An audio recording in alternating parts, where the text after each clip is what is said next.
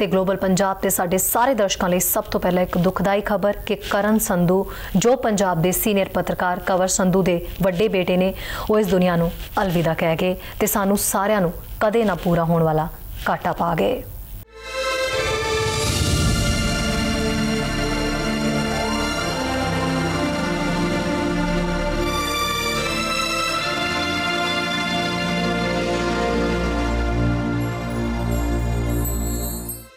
पानी केरा बुदबुदा असमानस की जात देखत ही छिप जाएगा ਜਿਉਂ ਤਾਰਾ ਪ੍ਰਭਾਤ ਇਸ ਦੋਹੇ ਦੇ ਮੁਤਾਬਕ ਇਨਸਾਨ ਦੀ ਜ਼ਿੰਦਗੀ ਪਾਣੀ ਦੇ ਬੁਲਬੁਲੇ ਦੀ ਤਰ੍ਹਾਂ ਹੈ ਕਦੋਂ ਖਤਮ ਹੋ ਜਾਵੇ ਪਤਾ ਹੀ ਨਹੀਂ ਲੱਗਦਾ ਇਨਸਾਨ ਵੀ ਉਸੇ ਤਰ੍ਹਾਂ ਛੁਪ ਜਾਂਦਾ ਹੈ ਜਿਵੇਂ ਸਵੇਰ ਹੋਣ ਤੇ ਤਾਰੇ ਛਿਪ ਜਾਂਦੇ ਨੇ ਕੁਝ ਇਦਾਂ ਹੀ ਛਿਪ ਗਏ ਕਰਨ ਸੰਧੂ ਕਰਨ ਸੰਧੂ ਜੋ ਕੱਲ ਤੱਕ ਹੱਸਦੇ ਖੇਡਦੇ ਪਰਿਵਾਰ ਨਾਲ ਗੱਲਬਾਤ ਕਰਦੇ ਅਚਾਨਕ ਹਸਪਤਾਲ ਪਹੁੰਚ ਗਏ ਤੇ ਦਿਲ ਦਾ ਦੌਰਾ ਪੈਣ ਕਰਕੇ ਉਹਨਾਂ ਦਾ ਅਕਾਲ ਚਲਾਣਾ ਹੋ ਗਿਆ।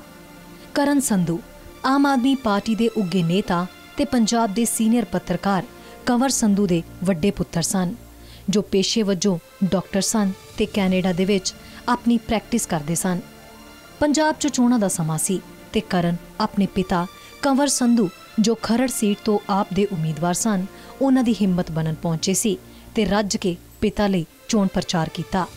ਰੱਬ ਦਾ ਪਾਣਾ ਦੇਖੋ, ਉਹਨਾਂ ਚੋਣ ਪ੍ਰਚਾਰ 'ਚ ਤਾਂ ਇੱਕ ਮਿੰਟ ਵੀ ਦਮ ਨਹੀਂ ਲਿਆ, ਪਰ ਚੋਣ ਨਤੀਜਿਆਂ ਤੋਂ ਪਹਿਲਾਂ ਹੀ ਦਮ ਤੋੜ ਗਏ। ਕਰਨ ਸੰਧੂ ਦਾ ਦੁਨੀਆ ਤੋਂ ਇਸ ਤਰ੍ਹਾਂ ਅਚਾਨਕ ਚਲੇ ਜਾਣਾ, ਉਹ ਵੀ ਮਹਿਜ਼ 35 ਸਾਲ ਦੀ ਉਮਰ 'ਚ। ਨਾ ਸਿਰਫ ਕੰਵਰ ਸੰਧੂ ਦੇ ਪਰਿਵਾਰ ਲਈ, ਬਲਕਿ ਗਲੋਬਲ ਪਰਿਵਾਰ ਲਈ ਤੇ ਚੈਨਲ ਦੇ ਦਰਸ਼ਕਾਂ ਲਈ ਬਹੁਤ ਹੀ ਮੰਦਭਾਗੀ ਖਬਰ ਹੈ। ਕਰਨ ਸੰਧੂ ਕਾਫੀ ਖੁਸ਼ਮਿਜਾਜ਼, ਤਬੀਅਤ ਦੇ ਮਾਲਕ ਸਨ।